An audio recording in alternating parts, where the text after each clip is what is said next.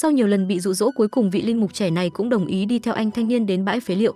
Thế nhưng sau khi làm phép linh mục khẳng định thằng nhóc thiểu năng trước mặt anh không có làm sao hết, nó chỉ đơn giản mắc bệnh thiểu năng như bao đứa trẻ thiểu năng khác mà thôi. Khi làm phép thập giá tự trong tay linh mục trẻ không hề có phản ứng, điều này chứng tỏ không có ác ma ngụ trong thân xác thằng nhóc thiểu năng. Vị linh mục trẻ định quay bước rời đi nhưng bị anh thanh niên ngăn cản.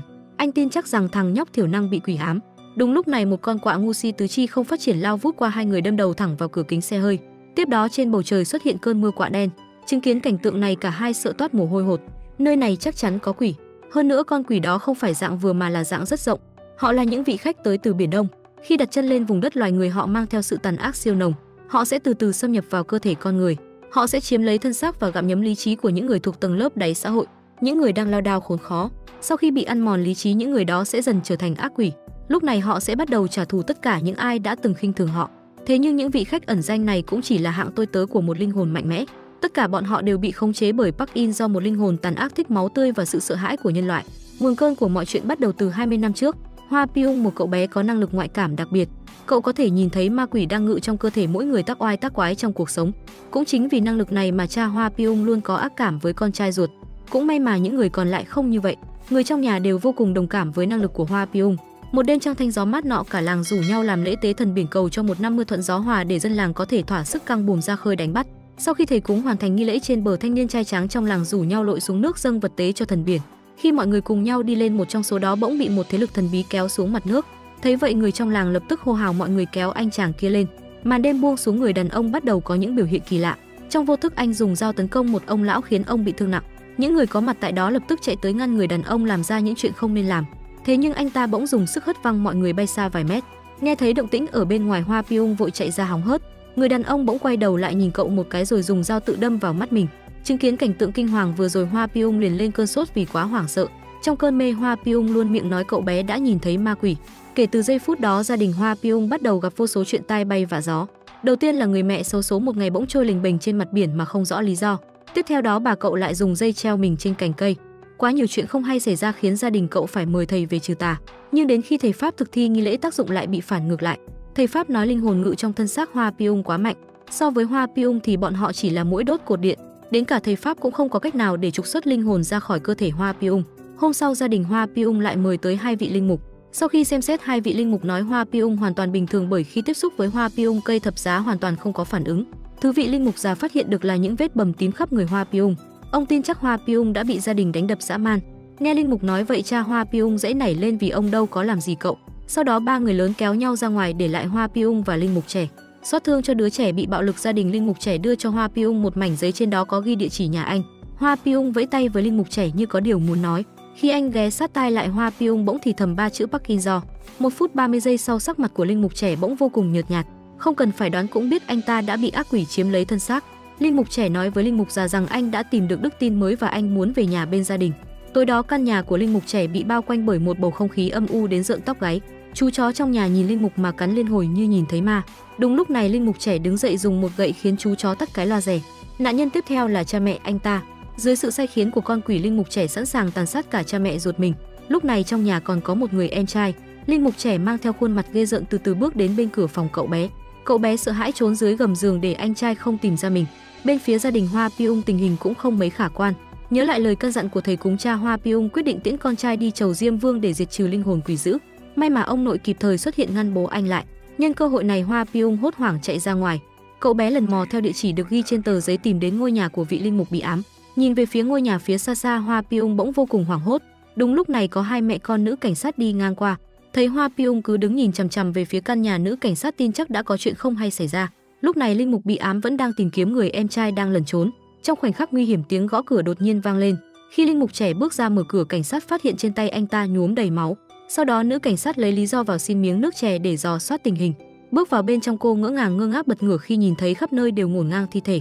Thủ đoạn của tên sát nhân này vô cùng tàn nhẫn. Cô lập tức gọi điện thoại về đồn cảnh sát xin viện trợ. Không lâu sau, nữ cảnh sát đã tìm thấy em trai linh mục bị ám. Đúng lúc này, linh mục bị ám bỗng từ đâu xuất hiện tấn công cô. Không nghĩ nhiều nữ cảnh sát lập tức hy sinh thân mình khống chế con quỷ trước mặt để cậu em trai có cơ hội chạy trốn. Nhưng cô cũng không phải là đối thủ của con quỷ kia.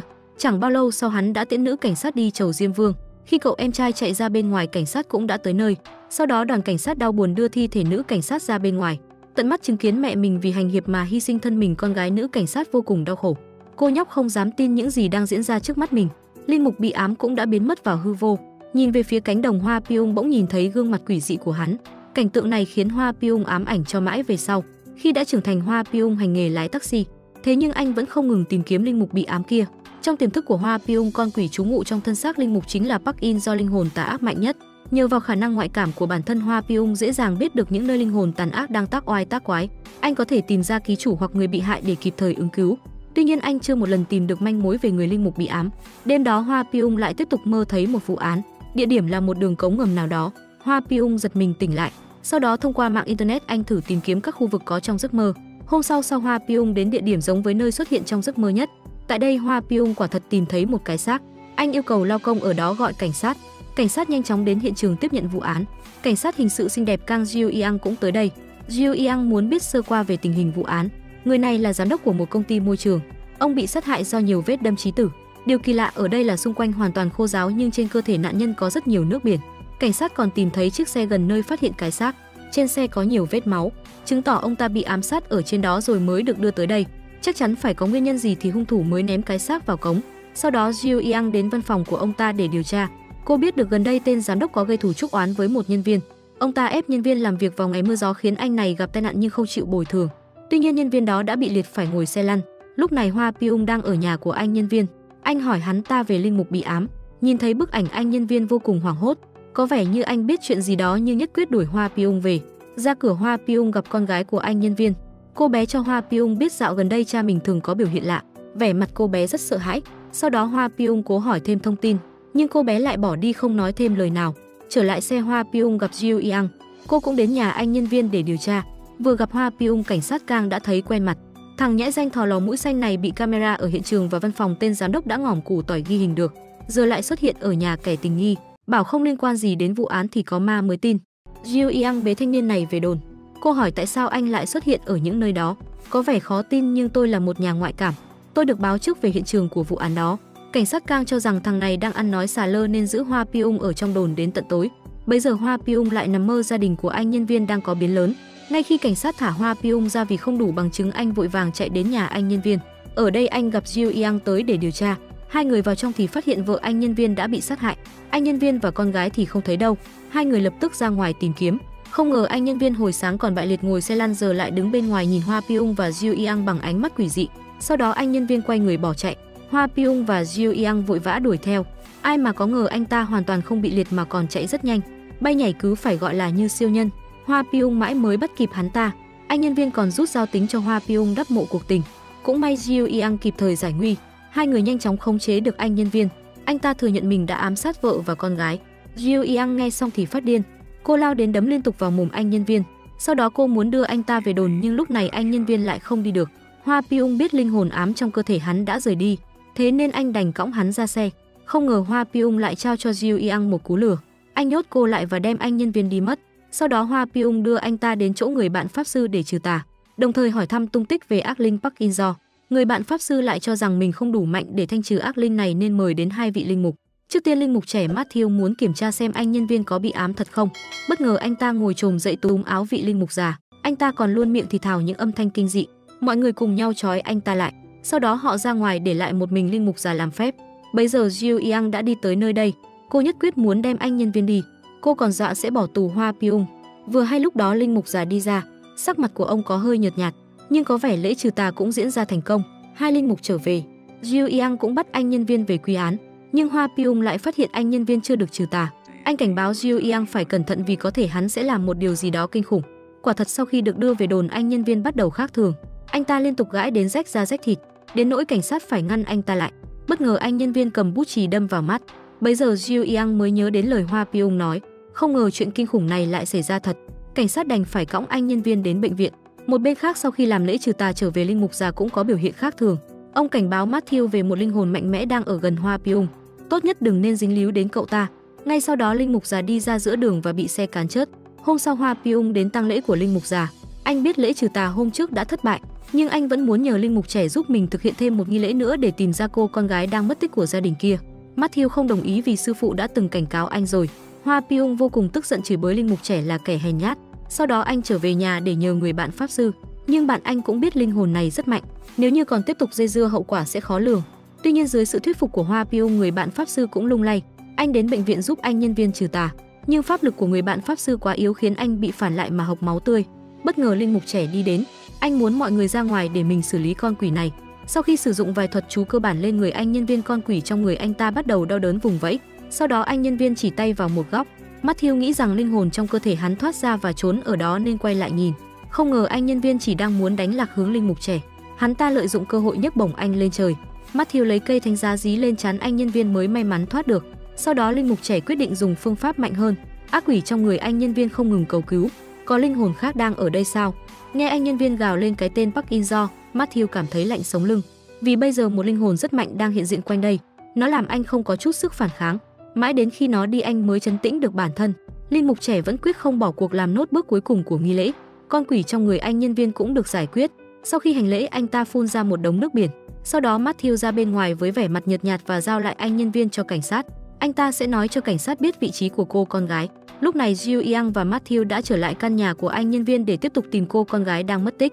Bây giờ Hoa Pyung có phản ứng với linh hồn tà ác ra tay túm cổ Jiu Yang. Sau một hồi vật lộn cuối cùng, cảnh sát Kang đã khống chế được Hoa Pyung. Anh cũng thoát ra khỏi sự điều khiển của ác linh. Hóa ra bản thân Hoa Piung phản ứng mạnh mẽ với vụ ám sát này nên mới để cho linh hồn tà ác có cơ hội chiếm thân xác làm loạn. Ngay lúc đó Hoa Piung phát hiện ra thứ gì đó bên trong ngăn tủ. Jiu Yang lại gần kiểm tra thì phát hiện một con quạ đen được giấu kín bên trong. Có thể đây chính là bùa chú giúp con quỷ nhập được vào người anh nhân viên. Hai người nhanh chóng mang nó đi tiêu hủy. Sau đó Jiu Yang và Matthew nhận được tin báo về vị trí con gái của anh nhân viên nên vội vàng chạy đến nơi. Hai người tìm thấy và giải cứu cô bé. Bây giờ cô bé vẫn chưa hết hoảng sợ. Hôm sau trong bệnh viện linh mục đến gặp anh nhân viên một lần nữa để chắc chắn rằng anh ta đã hoàn toàn bình thường. Linh hồn tà ác bên trong cơ thể anh nhân viên đã bị tiêu trừ. Bên này Hoa Piung cũng đến thăm cô con gái. Anh khuyên cô bé hãy đến gặp cha mình bởi vì ông ấy bị quỷ ám nên mới ra tay ám sát vợ và gây ra những tội ác với con gái, chứ bản thân ông ấy cũng không muốn chuyện như vậy xảy ra. Con gái cũng là người hiểu chuyện. Cô hứa với Hoa Piung rằng sau khi bình phục cô sẽ đến thăm cha mình. Buổi tối Hoa Piung lại được chỉ dẫn đến một vụ án tiếp theo. Trên xe taxi treo búp bê con khỉ có hai cô gái bị bắt cóc và sát hại. Sáng sớm, anh đem chuyện này kể cho Jiu Yang. Anh nhờ cô tìm đến cô gái có đặc điểm tương tự mất tích gần đây. Tuy nhiên lúc này Jiu Yang chưa hoàn toàn tin tưởng Hoa Pyong, nhưng với tư cách của một cảnh sát cô không thể bỏ qua những vụ án như vậy. Cảnh sát càng nhờ đồng nghiệp tìm kiếm thử.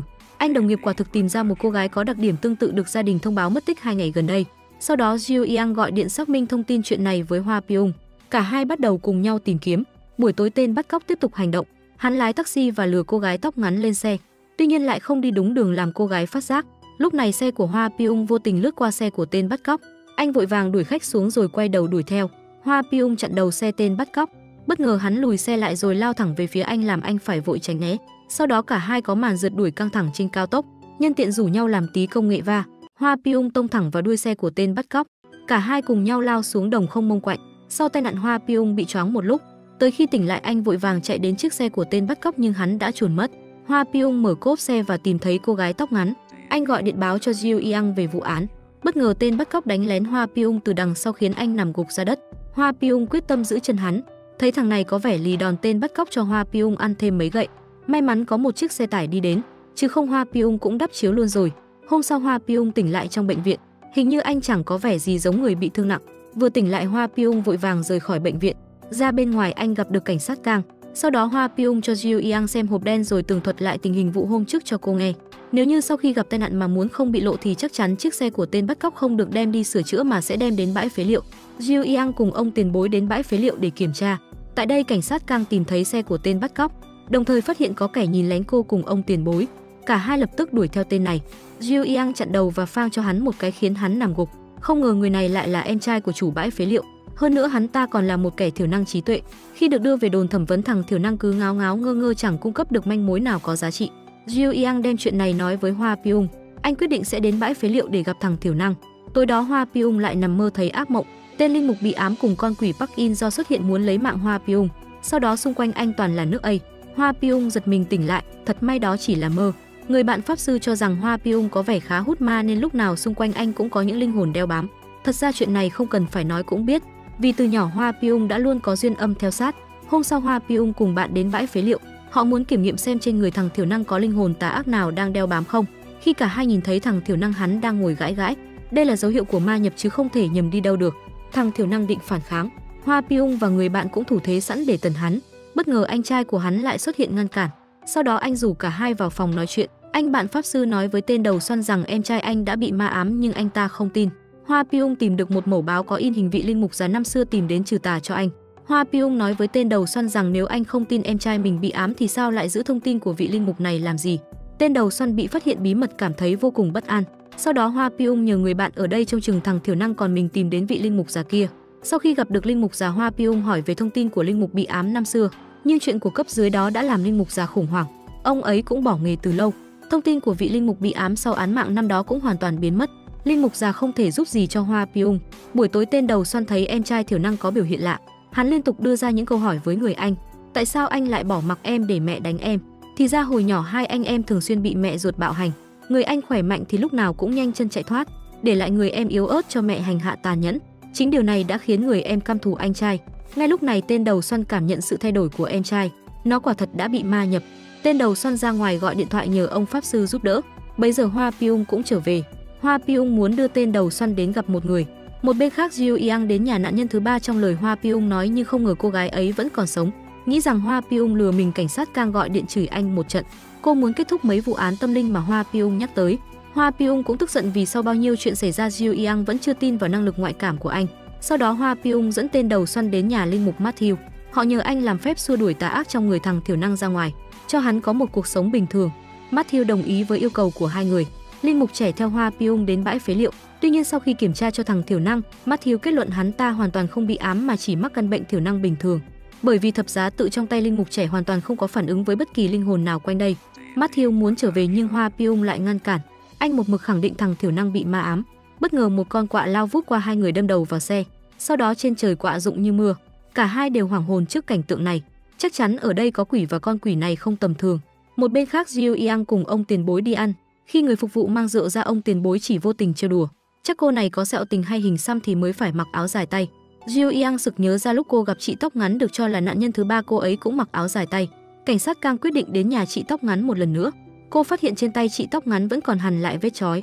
Cô ấy thực sự từng bị bắt cóc đúng như lời Hoa Pyong nói. Bây giờ chị tóc ngắn mới kể lại đầu đuôi câu chuyện cho Jiu Yang kể từ lúc bị bắt cho đến khi thoát ra. Nhưng điều mà cảnh sát cang quan tâm nhất trong câu chuyện đó chính là tên bắt cóc còn có đồng phạm. Lúc này linh mục trẻ cùng Hoa piung quyết định làm lễ trừ tà cho thằng thiểu năng một lần nữa. Tuy nhiên hắn vẫn không có phản ứng. Hoa piung lấy ra tấm ảnh linh mục bị ám hỏi hắn có nhận ra người này không. Không ngờ linh mục trẻ cũng biết người trong ảnh. Bất ngờ đèn tắt hết. Tên đầu xoan quay ra lấy đèn pin. Khi có ánh sáng mấy người phát hiện thằng thiểu năng đã biến mất. Hắn núp một bên rồi lao ra cầm dao kề cổ linh mục trẻ. Hoa piung bảo tên đầu xoan khuyên em trai dừng tay nhưng hắn ta cứ im lặng tiến lại gần. Trên tay hắn là chiếc kìm. Tên đầu xoăn nhìn thẳng vào mắt Hoa Pyong làm anh tưởng tượng ra cảnh linh mục trẻ bị ám sát.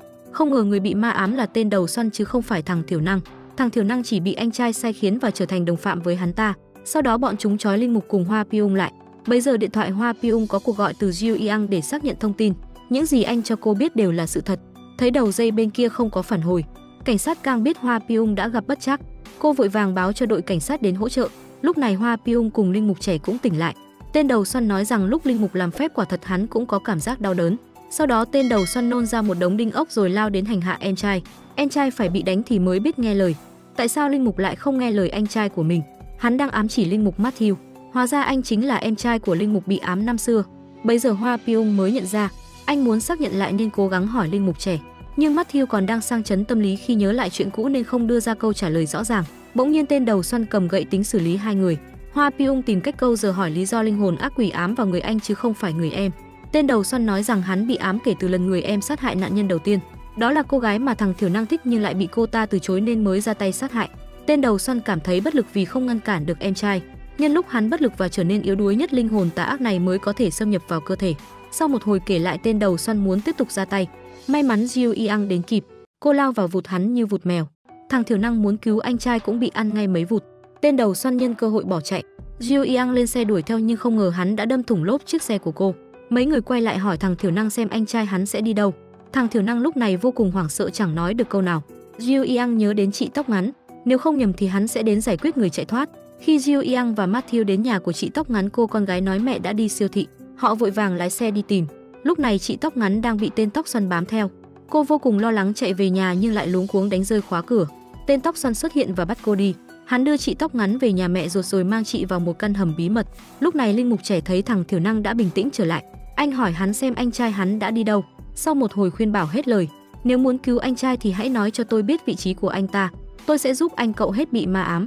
Thằng Thiểu Năng đồng ý với đề nghị của Matthew. Sau khi biết được vị trí của tên tóc xoăn Jiu Yang và Matthew đến tìm hắn ta, cả hai lao vào đục hắn một trận làm hắn giống lên như bò. Sau đó tên tóc xoăn bị đánh cho bất tỉnh. Chị tóc ngắn may mắn thoát được một kiếp.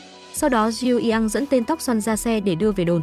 Hoa Pyong muốn cô cho anh chút thời gian để đem hắn đi trừ tà trước kẻo hắn lại tự tìm đường đi chầu Diêm Vương. Jiu Yang đồng ý, nhưng khi họ nhìn lại tên tóc xoăn hắn đang tự ăn tay của mình, cả hai muốn cản hắn lại nhưng cửa xe đã bị khóa trong. Họ đành bất lực nhìn tên tóc xoăn tự đắp mộ cuộc tình. Cảnh sát nhanh chóng phong tỏa hiện trường. Bây giờ ông tiền bối mới hỏi Jiu Yang về sự ra đi kỳ lạ của tên tóc xoăn. Jiu Yang cũng không hiểu, tất cả đều được Hoa Pyong tiên tri trước. Cô chỉ là người chứng thực mà thôi. Nếu đúng như lời anh ta nói thì thế giới này quả thật có ma quỷ. Chuyện này ngày càng trở nên rắc rối. Hôm sau Hoa pyung hẹn gặp linh mục trẻ để hỏi về linh mục bị ám. Anh cũng thừa nhận bản thân là đứa trẻ bị ám từng xuất hiện trước nhà Matthew năm xưa. Bây giờ linh mục trẻ mới hiểu ra vấn đề. Anh kể lại rằng sau khi anh trai thảm sát cả nhà đã biến mất hoàn toàn, anh chưa từng một lần xuất hiện trước mặt mình. Hoa pyung nói rằng trong cơ thể của linh mục bị ám đó chính là linh hồn tà ác tối cao Park In Do. Linh mục trẻ không thể tin nổi quay người bỏ đi. Lúc này có một người đàn ông lên núi và vô tình phát hiện một bộ xương. Cảnh sát cũng nhanh chóng xác định được danh tính người ngỏm củ tỏi. Không ngờ đó lại là linh mục bị ám. Không phải linh hồn Park In Do đã nhập vào người linh mục bị ám sao? Hoa Piung chạy đến hiện trường xác nhận nhưng cảnh sát không cho anh vào. Hoa Piung đành đến nhà nhân chứng để hỏi thăm. Nhân chứng cho Hoa Piung biết do trời mưa rửa trôi đất nên bộ xương mới lộ ra ngoài. Còn ngày bình thường nhân chứng vẫn hay đi qua đó mà chẳng phát hiện điều gì. Nghe vậy Hoa Piung càng thêm nghi ngờ. Một bên khác Jiu Yang quay về sở cảnh sát. Cô bị đình chỉ công tác vì để hung thủ của hai vụ án gần đây một kẻ ngỏm củ tỏi một người bị thương. Chuyện đó do ma quỷ làm cô làm sao ngăn cản được. Cảnh sát càng biết dù mình có giải thích nhưng cũng sẽ không ai tin. Cô đành giận dỗi quay người bỏ đi. Bên ngoài cô nhận được một cuộc điện thoại của sở trưởng. Ông muốn hẹn Jiu Yang để kể cho cô một bí mật gì đó. Lúc này Linh Mục già cùng Matthew đến đồn cảnh sát xác nhận Linh Mục bị ám. Matthew nhìn thấy di vật này càng chắc chắn đây là người anh của mình. Sau khi ra ngoài, hai người gặp một nữ chính trị gia. Đây là người quen của Linh Mục già. Họ thường cùng nhau thực hiện nhiều quỹ từ thiện. Lần này nữ chính trị gia đến đây tìm sở trưởng để bắt ông ta cho dừng việc điều tra về bộ xương kia. Cô ta cực kỳ không vừa ý với sở trưởng. Cô cảnh cáo nếu còn tiếp tục điều tra chắc chắn sẽ gây ra sóng gió lớn. Nữ chính trị gia gào lên như bị ma nhập. Có vẻ cô ta có liên quan đến sự ra đi của linh mục bị ám. Hơn nữa có một linh hồn mạnh mẽ nào đó đang chiếm giữ thân xác cô ta. Buổi tối Hoa Pyong quay lại nơi tìm thấy cái xác của linh mục bị ám để tiếp tục làm rõ những hoài nghi của mình. Ở đây anh gặp linh mục Matthew cũng đang điều tra. Sau đó là cả Jiu Yang cũng đến. Ba người lên xe rời đi để tránh bị cảnh sát phát hiện xâm hại hiện trường trái phép. Jiu Yang đưa cả hai đến trước căn nhà của linh mục bị ám. Bây giờ cô mới thừa nhận mình chính là con gái của nữ cảnh sát năm xưa, người đã vào trong ngôi nhà cứu được Matthew ra ngoài và bỏ mạng lại trong đó. Cô cũng chỉ mới biết Matthew là em trai của linh mục bị ám cách đây không lâu qua lời của sở trưởng. Vì muốn tìm ra kẻ ám sát mẹ nên cô mới trở thành cảnh sát, nhưng không ngờ linh mục bị ám đã ngỏm củ tỏi trước khi cô tìm ra. Lúc này Hoa Pyong mới lên tiếng thừa nhận, anh chính là đứa trẻ đứng trước căn nhà khiến mẹ của Jiu Yang phải xuống xe rồi đi vào trong căn nhà đó và bỏ mạng. Hoa Pyong khẳng định người ám sát mẹ Jiu Yang không phải là linh mục bị ám mà chính là linh hồn Park In do nhập vào người hắn ta gây nên. Cũng chính Hoa Pyong là người đầu tiên bị linh hồn Park In do nhập. Sau khi linh mục bị ám kia đến nhà anh linh hồn Park In do mới đi sang cơ thể hắn ta. Nghe xong mọi chuyện Jiu Yang tức giận lao vào đấm Hoa Pyong một cú đau điếng rồi lên xe bỏ đi. Hôm sau linh mục Matthew quyết định đem xác anh trai đi hỏa táng. Hoa Pyong đến chia buồn với Matthew, bởi vì con quỷ Park In do mà anh trai của linh mục trẻ biến thành kẻ sát nhân, anh cũng mất đi cả gia đình trong một đêm. Matthew vô cùng căm hận và quyết cùng Hoa Pyong bắt bằng được con quỷ này. Hoa Pyong cảnh báo chuyện này sẽ có nhiều nguy hiểm nhưng Matthew quyết định sẽ đi đến cùng. Buổi tối một cô gái tóc dài chuẩn bị tự đăng xuất, bất ngờ cô ta nhận được một tin nhắn. Nội dung bên trong là thay vì tự hại bản thân hãy hại tất cả mọi người. Sau đó cô gái tóc dài như biến thành người khác. Cô nhắm vào một tên giám đốc định cho ông ta đắp chiếu nhưng không thành. Lúc này cảnh sát nhận được tin báo về vụ mất tích của một nhân viên văn phòng nên đến nhà anh ta để điều tra nhưng không có kết quả. Sau đó cảnh sát đến phòng anh ta làm việc. Tại đây cảnh sát được đồng nghiệp của anh ta cho biết anh này có một người bạn gái. Thế nên cảnh sát mời cô gái tóc dài đến đồn cho lời khai. Nhìn vào biểu hiện của cô ta Jiu Yang biết người này có điều gì giấu giếm nhưng không có chứng cứ vạch trần nên phải thả ra. Sau khi trở về cô gái tóc dài tìm đến linh mục Matthew. Cô ta nói rằng mình đã bị ám, nhưng nhìn biểu hiện của cô gái tóc dài Matthew khuyên cô ta nên đi đến bệnh viện điều trị tâm thần. Khi cô ta nói tên con quỷ đang ám mình linh mục trẻ mới chột dạ, không ngờ lại là Park In Do. Buổi tối linh mục trẻ rủ Hoa Pyung đến nhà cô gái tóc dài. Họ phát hiện cô ta chuẩn bị đi hãm hại người khác nên vội vàng cản lại. Hoa Pyung phát hiện trong túi của cô gái tóc dài có cuốn tạp chí của một tổ chức. Lúc này cô gái tóc dài bị Hoa Pyung và linh mục trẻ giữ lại lớn tiếng hô hào mình bị bắt nạt. Người dân đến kéo hai thanh niên tạo cơ hội cho cô gái chạy vào nhà. Cảnh sát cũng nhanh chóng đến nơi này. Vì nghĩ Hoa Pyong và Matthew là hai kẻ biến thái nên cảnh sát định bế họ về đồn. May mắn có Jiu Yang đến giải vây, bất ngờ cánh cửa nhà cô gái tóc dài mở ra. Cô ta đã tự cắt tay mình. Ai nấy đều bàng hoàng khi chứng kiến cảnh tượng này.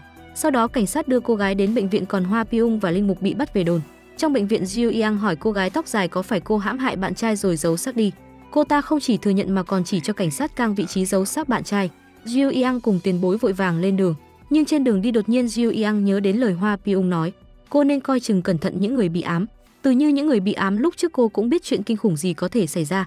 Jiu Yang bảo tiền bối hãy đến nơi cô gái tóc dài giấu xác bạn trai còn mình sẽ quay lại bệnh viện. Không ngờ khi Jiu Yang quay lại cô gái kia đã biến mất. Bên này ông tiền bối cũng tìm thấy chiếc xe mà cô gái tóc dài giấu xác bạn trai. Lúc này Hoa Pyong đang ở đồn cảnh sát. Anh lại bị vong nhập và nhìn thấy cô gái tóc dài đang ra tay với tên giám đốc. Linh mục trẻ thấy Hoa Pyong lạ lạ liền đi đến kiểm tra. Hoa Pyong bị vong điều khiển liền khống chế Matthew. Jiu Yang trở về kịp thời gọi anh tỉnh lại. Bây giờ Hoa Pyong nói với Jiu Yang khung cảnh mà anh nhìn thấy trong giấc mơ là một văn phòng có vài bộ đồ chơi mô hình xe tăng. Jiu Yang nhớ đến văn phòng của tên giám đốc mà cô đến lúc sáng. Cô bảo Hoa Pyong hãy cùng Linh Mục về trước. Hoa Pyong muốn đi theo nhưng cảnh sát Kang không đồng ý. Cô cùng tiền bối lên đường đến văn phòng. Khi đến nơi hai người chia nhau ra hành động. Khi ông tiền bối đang đi một mình bất ngờ cô gái tóc dài xuất hiện phía sau và túm áo ông. Bên này Hoa Pyong cũng muốn tự mình điều tra. Anh rủ Linh Mục Matthew đột nhập vào nhà cô gái tóc dài. Đúng lúc này bạn cùng phòng của cô ta trở về. Qua lời kể của cô gái hai người biết được bạn trai của cô gái tóc dài không phải bị hãm hại mà là anh ta tự tìm đường đi chầu Diêm Vương. Nguyên nhân là bị đồng nghiệp chèn ép đến mức tự kỷ. Cô gái tóc dài cũng vô cùng tuyệt vọng sau cái chết của bạn trai nên mới tạo cơ hội cho linh hồn tà ác chiếm lấy cơ thể. Sau đó nó giúp cô gái tóc dài báo thù thay cho bạn trai của mình. Sau khi biết được chuyện này, Hoa Piung tìm đến văn phòng làm việc của người bạn trai. Trên đường đi Hoa Piung lại bị vong nhập. Anh thấy ông tiền bối bị thương nặng. Hoa Piung mất tập trung khiến chiếc xe suýt gây tai nạn. May mà linh mục phản ứng kịp thời. Sau đó Hoa Piung báo tin ông tiền bối gặp nguy hiểm cho Jiu Yang. Nghe xong cô vội vã đi tìm. Cảnh sát Kang phát hiện tên giám đốc máu me đầy người nên định gọi cứu thương. Nhân lúc Jiu Yang không chú ý cô gái tóc dài bất ngờ lao ra tấn công rồi đánh Jiu Yang trọng thương. Sau đó cô gái tóc dài trói Jiu Yang cùng tên giám đốc trong một căn phòng. Bây giờ linh hồn tà ác chiếm hữu thân xác của cô gái tóc dài cho Jiu Yang biết, nó muốn thay cô gái báo thù những người hãm hại bạn trai cô. Jiu Yang hỏi con quỷ trong người cô gái tóc dài có phải là Park In Jo. Câu nói này đã làm cô ta giận dữ. Đây là lần cuối cùng cô có thể nhắc đến cái tên này. Đợi sau khi giải quyết tên giám đốc sẽ đến lượt Jiu Yang. Cô gái tóc dài cầm dao tiến về phía giám đốc. Jiu Yang dùng chút sức lực còn sót lại xô ngã cô ta. Cô ta giận dữ định cho Jiu Yang đắp mộ trước. Cũng may Hoa Pyung và Linh Mục đến kịp thời. Nghe tiếng gọi cô gái tóc dài vội bỏ chạy. Hai người lập tức chia nhau ra đuổi theo hai hướng. Mục sư thì đuổi bờ hơi tai còn Hoa Pyung thông minh hơn. Anh lái xe đâm ngã cô gái tóc dài. Sau đó anh xuống xe định bắt cô ta nhưng lại bị cô ta phản đòn. Đúng lúc này Linh Mục chạy đến dí thanh giá lên người cô gái tóc dài. Vì vậy mà cô ta mới buông Hoa Pyong ra rồi ngã xuống đất bất tỉnh. Sau đó Hoa Pyong quay lại văn phòng giải cứu Jiu Yang. Họ cũng đã tìm được ông tiền bối bị bắt. Lúc này Linh Mục đem cô gái tóc dài đi trừ tà. Hoa Pyong và Jiu Yang cũng muốn giúp sức. Con quỷ trong người cô gái tóc dài thao túng tâm lý hết người này tới người khác. Nó gợi lại sự ra đi đau khổ của mẹ Jiu Yang, đe dọa sẽ hãm hại ông nội của Hoa Pyong. Nó cố gắng chia rẽ mối quan hệ của ba người nhưng cả ba đều cố gắng vượt qua. Hoa Pyung lấy ra tấm ảnh người bạn trai động viên cô gái, hãy vì người yêu vì đứa con trong bụng mà sống tiếp. Không ngờ cô gái này còn đang mang thai. Linh mục trẻ muốn giúp cô ấy đuổi con quỷ ở trong cơ thể cứu rỗi sinh mạng của cả hai mẹ con. Nghi lễ hoàn thành cô gái gầm lên một tiếng Parkinson, sau đó phun ra một đống nước biển rồi nằm gục. Cuối cùng sau bao cố gắng ba người đã giúp cô ấy đuổi được con ác quỷ đi. Hôm sau Jiu Yang đến gặp Hoa Pyung và Linh Mục. Sau bao nhiêu chuyện xảy ra cuối cùng cô cũng tin Hoa Pyung. Cảnh sát Kang muốn cùng hai người đi bắt con quỷ Park In Do để trả thù cho mẹ và ngăn cản nó tiếp tục làm càn. Linh Mục Matthew không đồng ý vì chuyện này quá nguy hiểm. Cô là cảnh sát và không biết gì về các linh hồn. Hai người xảy ra tranh cãi. Matthew quay người bỏ đi. Đến lúc này Hoa Pyong mới lên tiếng. Anh muốn cô cùng tham gia. Ít nhất cô cũng cần biết rõ về con quỷ đã ra tay với mẹ mình. Hôm sau Hoa Pyong dẫn ông pháp sư đến chỗ tìm thấy xác linh mục bị ám một lần nữa. Họ muốn tìm hiểu nguyên nhân thật sự về sự ra đi của hắn ta. Ông pháp sư bắt đầu làm lễ gọi hồn. Sau khi bị vong nhập ông bắt đầu đào bới khu vực gần đó. Họ lại tìm được thêm một cái xác. Cảnh sát xác định đây là thi thể của một nữ sinh mất tích vào 20 năm trước, gần với thời điểm xảy ra vụ án của linh mục bị ám. Hoa Pyong gọi điện báo tin này cho Jiu Yang, không ngờ cô lại biết về nữ sinh này. Vụ án mất tích nữ sinh vô cùng kỳ lạ, mà người điều tra vụ án đó lại chính là mẹ của cảnh sát Kang. Sau khi tắt máy, Jiu Yang tìm lại trong đống di vật của mẹ. Cô phát hiện cuốn nhật ký điều tra của bà có ghi lại những thông tin mà bà tìm ra được về vụ án cô nữ sinh kia. Jiu Yang tìm thấy cái tên của một kẻ tình nghi mà mẹ cô điều tra được. Đó chính là tên của nữ nghị sĩ Park Hong-ju. Một bên khác linh mục Matthew cũng tìm thấy điểm chung của những người bị ám. Anh phát hiện họ đều quen biết nghị sĩ Park và cùng nhận từ thiện từ tổ chức của cô ta. Linh mục Matthew báo chuyện này với Hoa Pyung. Hoa Pyung lại đem chuyện này kể cho cảnh sát Kang. Cô nói nghi phạm trong vụ án nữ sinh mất tích 20 năm trước cũng chính là nghị sĩ Park. Chuyện này không thể chỉ là trùng hợp. Qua cuốn sổ điều tra của mẹ Jiu Yang tìm được một nhân chứng, đó là bảo vệ ngôi trường mà nữ sinh kia và nghị sĩ Park cùng theo học 20 năm trước. Đêm mà nữ sinh kia mất tích ông ta đã thấy nghị sĩ Park ở trường. Tuy nhiên sau đó ông bảo vệ lại thay đổi lời khai, chắc chắn là bị ai đó đe dọa. Hiện tại ông bảo vệ đó đã bị tâm thần và đang ở trong bệnh viện. Hoa Pyung và Jiu Yang tới đây để gặp ông ta. Hoa Pyung phát hiện ông bảo vệ đang vẽ thứ gì đó trên đất, không ngờ lại là biểu tượng của con quỷ Park In Jo. Anh lấy ra tấm ảnh của nữ nghị sĩ hỏi ông có phải đang vẽ người này. Nhìn vào tấm ảnh ông bảo vệ vô cùng hoảng loạn. Điều này khẳng định được người đe dọa ông chính là nghị sĩ Park. Hôm sau Hoa Pyung đem chuyện này kể với linh mục Matthew, nhưng Matthew lại nói rằng nghị sĩ Park hoàn toàn không phải người bị Park In do ám, bởi vì đêm trước anh còn thấy cô ta đến thánh đường cầu nguyện. Nếu như bị quỷ ám thì đâu thể bước chân được vào thánh đường, nhưng bao nhiêu manh mối đều đang hướng về cô ta. Chuyện này chắc chắn còn có bí mật nào đó to lớn phía sau. Lúc này Hoa Pyung và linh mục Matthew gặp được vị linh mục già. Ông ấy cho hai người biết một thông tin quan trọng, đó là nếu như con quỷ chiếm hoàn toàn được thân xác người bị ám, nó sẽ không sợ thánh giá kinh thánh và có thể đến thánh đường. Ở nước ngoài từng xuất hiện trường hợp này, khi con quỷ ở trong thân xác người nào đó quá lâu nó có thể độc chiếm thân xác đó cho riêng mình. Vậy không lẽ nghị sĩ Park đã hoàn toàn bị ma nhập? Buổi sáng ba người Hoa Pyong đến gặp thêm một nhân chứng nữa, đó là bạn học của cô nữ sinh đã ngỏm củ tỏi 20 năm trước. Qua lời kể của cô này nhóm Hoa Pyong biết được, cô nữ sinh bị nghị sĩ Park bạo hành và hãm hại. Sau khi phát hiện ra chuyện này thì người bạn đã báo cho bảo vệ. Sau khi ông bảo vệ đi kiểm tra thì nói chỉ là cãi vã bình thường. Cô nữ sinh kia đã được nghị sĩ Park đưa đến bệnh viện. Tuy nhiên ngày hôm sau đi học người bạn nhận được tin cô nữ sinh đã bỏ nhà ra đi. Người bạn không tin chuyện này nên đã kể với một nữ cảnh sát đang điều tra vụ mất tích. Sau đó nữ cảnh sát đã ra đi mãi mãi trong một lần điều tra vụ án khác. Cảnh sát này chính là mẹ của Jiu Yang. Vài ngày sau cô có tìm đến ông bảo vệ để hỏi về chuyện buổi tối hôm đó, nhưng ông bảo vệ bấy giờ đã có những biểu hiện bất thường.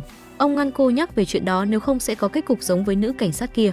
Jiu Yang nhờ người bạn đứng ra làm nhân chứng, nhưng cô ấy bây giờ đã có gia đình, nếu vướng vào loại chuyện phức tạp này, chỉ e là cả nhà sẽ gặp nguy hiểm. Ba người cũng hiểu cho cô ấy và rời đi. Lúc này Hoa Pyung đến tìm nghị sĩ Park. Anh đang cố xác minh xem con quỷ Park In do có đang trong người cô ta không. Tuy nhiên cô ta không để lộ ra bất kỳ sơ hở nào. Kể cả khi linh mục Matthew làm phép rồi đưa thập tự giá cho nghị sĩ Park cô ta vẫn cố che giấu con quỷ trong người. Mãi đến khi vào nhà vệ sinh cô ta mới tỏ ra đau đớn. Lúc này Hoa Pyung tìm ra một cách nữa để xác minh. Người bị Park In do ám cũng sẽ giống như anh hồi nhỏ. Mắt phải của họ sẽ không thể nhìn thấy rõ. Cần có một cách nào đó để xác minh chuyện này. Buổi tối Jiu Yang nhận được một cuộc điện thoại. Ông bảo vệ trong trại tâm thần đã biến mất. Từ sau khi Jiu Yang và Matthew đến đây gặp ông ta căn bệnh tâm thần của ông đã có dấu hiệu suy giảm. Ông ta không còn la hét hay vẽ vời linh tinh. Thay vào đó miệng ông ta liên tục lẩm bẩm một cái tên. Jiu Yang nghe tên người này xong thì lo lắng, bởi vì đó chính là người bạn của nữ sinh bị hãm hại 20 năm trước người mà nhóm của cô mới gặp ngày hôm qua. Cô ấy đang gặp nguy hiểm. Lần này Hoa Pyung cũng tiên tri được vụ án tiếp theo sắp xảy ra. Anh báo cho Matthew và chạy đến ngôi nhà của người bạn. Không ngờ cô ấy đã bị sát hại. Ông bảo vệ cũng đâm vào mắt mà tự đăng xuất. May mắn họ tìm được con trai của cô gái vẫn còn sống. Lúc này Hoa Pyung vô cùng tức giận. Anh muốn đi tìm nghị sĩ Park để bem bỏ cô ta kết thúc tất cả mọi chuyện. Nhưng Matthew lại ngăn cản Hoa Pyung. Hai người xảy ra tranh chấp. Hoa Pyung đấm Matthew rồi bỏ đi. Lúc này anh không thể nghĩ nhiều hơn. Anh chỉ muốn hủy đi vật chứa của Park In Jo. Hoa Pyung chạy đến chỗ nghị sĩ Park hỏi cô ta có phải là Park In Jo. Nghị sĩ chỉ cười và nhắc lại chuyện quá khứ của Hoa Pyung. Ngay lúc này anh có thể chắc chắn rằng người trước mặt đang bị Park In Do ám. Nếu không tại sao lại biết được chuyện mẹ và bà nội anh bị hãm hại? Hoa Pyung cầm dao định xử cô ta nhưng lại bị đám vệ sĩ ngăn cản. Nghị sĩ Park yêu cầu giao Hoa Pyung cho cảnh sát sau đó nở một nụ cười nham hiểm. Jiu Yang cùng linh mục Matthew đến nơi. Họ chứng kiến được tất cả điều này và càng thêm chắc chắn rằng nghị sĩ Park chính là Park In Do. Hôm sau Matthew nhờ linh mục già kết nối cho mình được gặp nghị sĩ Park.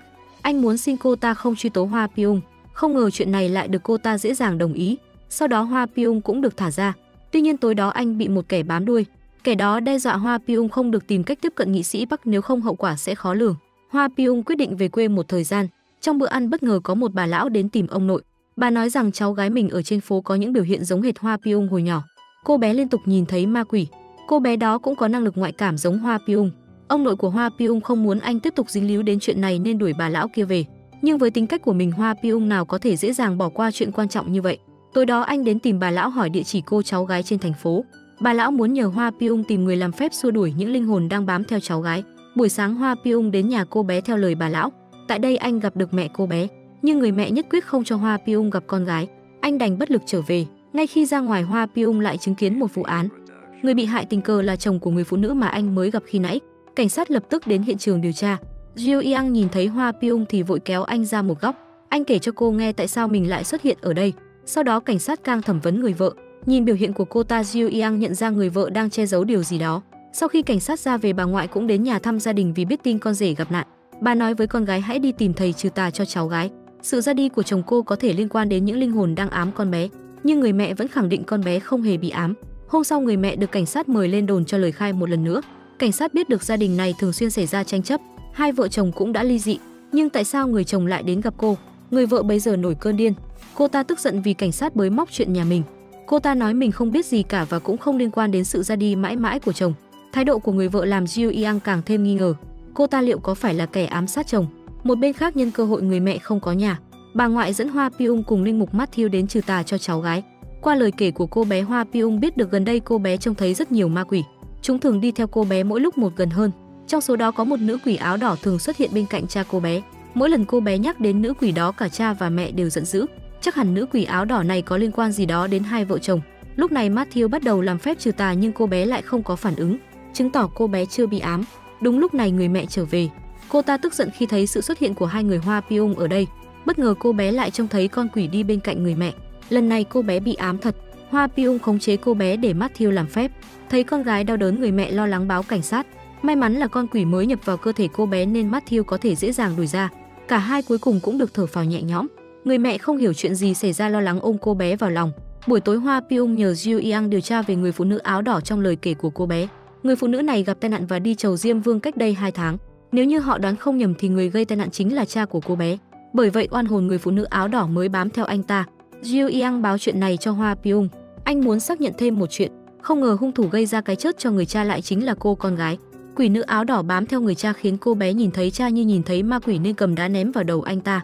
Trong cặp cô bé lúc nào cũng cất một hòn đá lớn. Có người nói với cô bé rằng muốn xua đuổi ma quỷ xung quanh chỉ cần lấy đá ném vào chúng là xong. Người mẹ cũng biết cái chết của chồng do con gái gây ra, nhưng cô cố tình che giấu với cảnh sát để bảo vệ cho con bé. Sau khi rõ ràng mọi chuyện Hoa Pyong còn một thắc mắc, nếu vật chủ đã ngỏm củ tỏi thì quỷ nữ áo đỏ kia sẽ đi đâu? Matthew chợt chột dạ, nó sẽ ám sang một người có linh hồn yếu đuối nhất, không lẽ là cô bé kia? Cô bé mới được trừ tà nên linh hồn còn đang suy yếu, mà bên này cô bé bắt đầu có biểu hiện lạ. Thân sắc của cô bé vô cùng nhợt nhạt.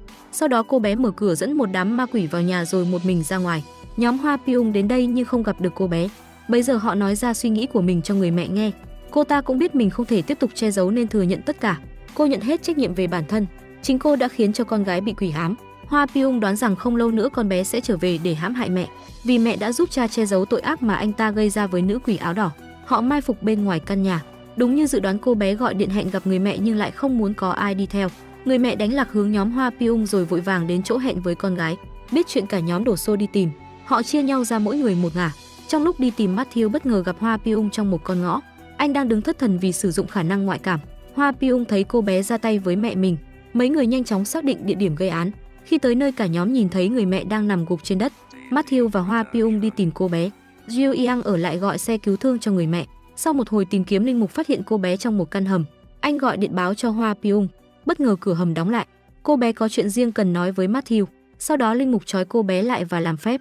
Tưởng rằng mọi chuyện thành công mỹ mãn, nhưng cô bé cho linh mục biết, cha mẹ cùng với anh trai của Matthew đang ở đây. Họ đang oán trách tại sao có mỗi mình anh sống. Linh mục bắt đầu có cảm giác áp bức từ các linh hồn xung quanh. Lúc này Hoa Piung đến trước cửa hầm. Anh cố phá cửa nhưng không vào được. Khi Jiu Yang tới nơi cô thấy Hoa Piung lại bắt đầu tiến vào trạng thái ngoại cảm. Hoa Piung nhìn thấy có rất nhiều ma quỷ vây lấy Matthew. Sau đó anh bị cảnh sát Kang gọi tỉnh lại. Hoa Piung nói rằng linh mục đang gặp nguy hiểm. Bất ngờ cánh cửa mở ra. Matthew bước ra với một gương mặt nhợt nhạt. Cơ thể anh như bị hút cạn sức lực. Jiu Yang vội vàng đưa anh đến bệnh viện. Trong bệnh viện linh mục gặp phải một cơn ác mộng. Anh giật mình tỉnh lại. Điều đầu tiên mà anh nhớ tới là cô bé đang bị quỷ ám. Nếu không kịp thời trừ tà cô bé sẽ gặp nguy hiểm. Mặc cho thân xác không còn chút sức lực nào anh vẫn nhờ người đưa đến chỗ cô bé để thực hiện nghi thức. Matthew nói với Hoa Piung năng lượng của lũ quỷ lần này chống lại pháp thuật trừ tà của anh. Có lẽ do một bùa chú chứa năng lượng nào đó, Hoa Piung được cử đi tìm bùa chú đó. Anh phát hiện nó ở trên chiếc xe của người cha. Ông pháp sư tạm thời phong ấn năng lượng của bùa chú để đem nó đi tiêu hủy.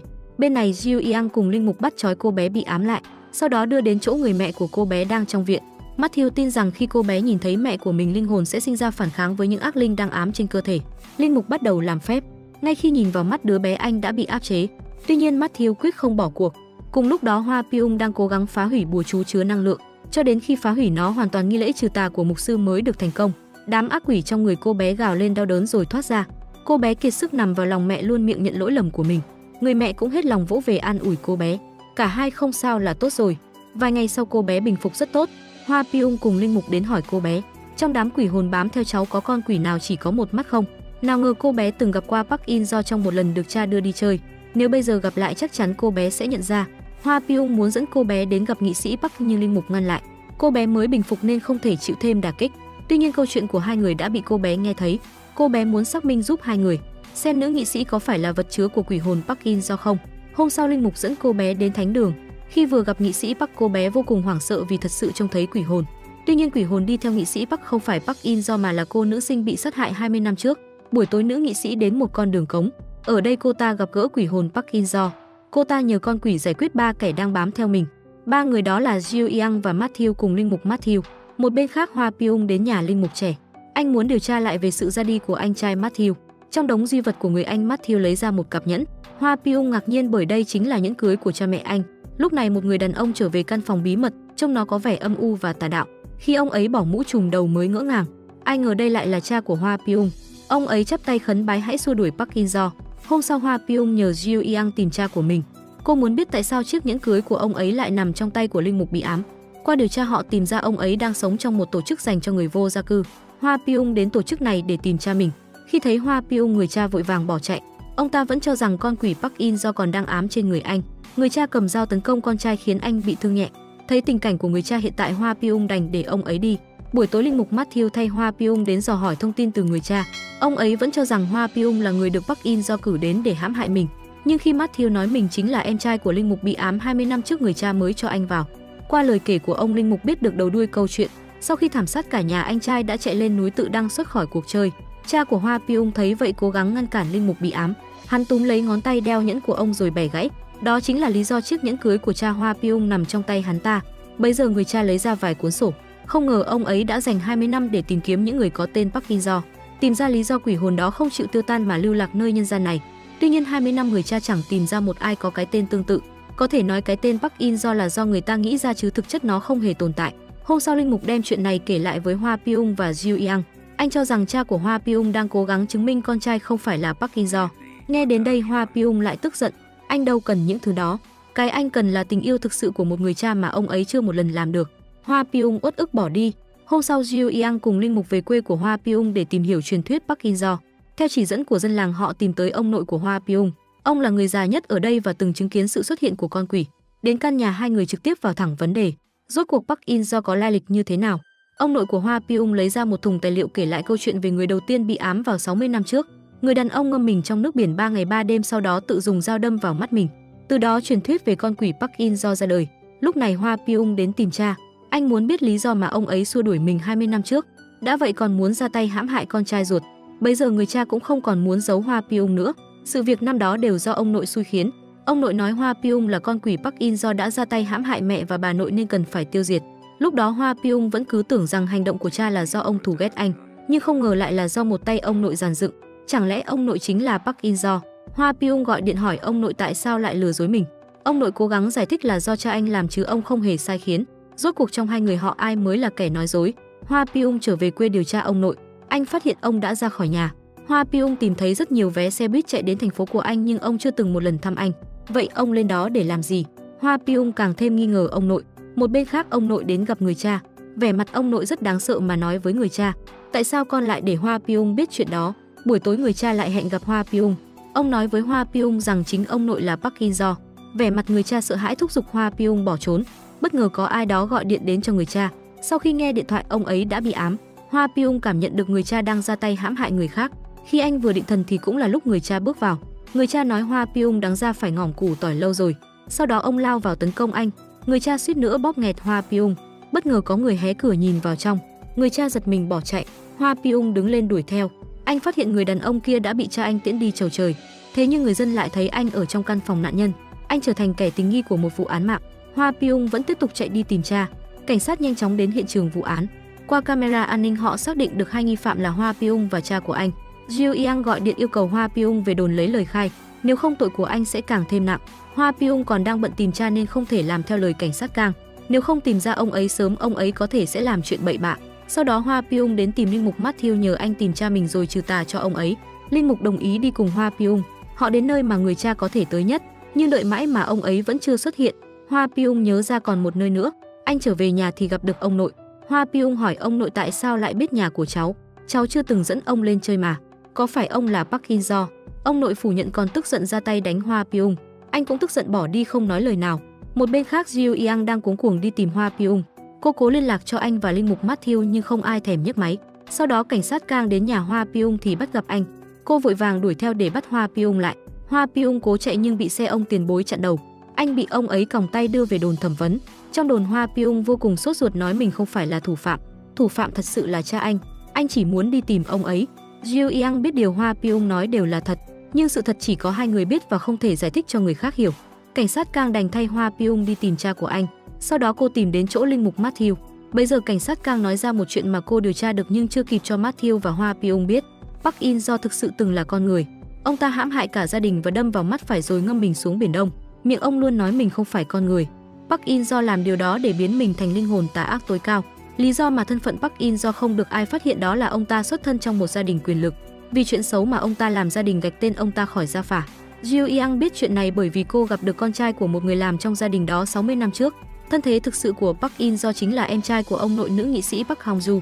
Một bên khác nghị sĩ Park đến gặp cha ruột của mình để hỏi về người đang giúp mình suốt những năm qua. Khi nghe đến cái tên Park In do người cha giật mình, không phải hắn đã thăng thiên rồi sao? Hắn giúp con bằng cách nào? Rồi ông kể lại toàn bộ sự việc năm đó cho nữ nghị sĩ. Park In do chính là em trai của ông nội nữ nghị sĩ. Hắn ta rất thích rớt chóc. Sau khi hãm hại vợ và con gái Park In do đã tự bấm nút đăng xuất, cái tên Park In do cũng không bao giờ được nhắc đến. Bây giờ người cha nhìn lại nữ nghị sĩ, quả thật cô ta có nét giống con quỷ Park In do. Nghị sĩ Park nhìn cha với ánh mắt kỳ lạ. Lúc này linh mục Matthew nhận được cuộc gọi từ cha của Hoa Pyung. Ông ta nói mình sẽ tới tìm Hoa Pyung để kết thúc mọi chuyện lẽ ra nên kết thúc từ 20 năm trước. Người cha đang muốn chính tay tiễn con trai chầu trời. Matthew gọi điện báo tin này cho Jiu Yang. Cô đang ở hiện trường án mạng do cha Hoa Pyung gây ra. Bất ngờ cảnh sát Kang phát hiện có kẻ khả nghi. Cô vội vàng đuổi theo bắt hắn lại và dẫn về đồn. Người này là nhân chứng nhìn thấy cha của Hoa Pyung ám sát người khác. Hoa Pyung được minh oan và thả ra. Bây giờ linh mục đến nói với Hoa Piung.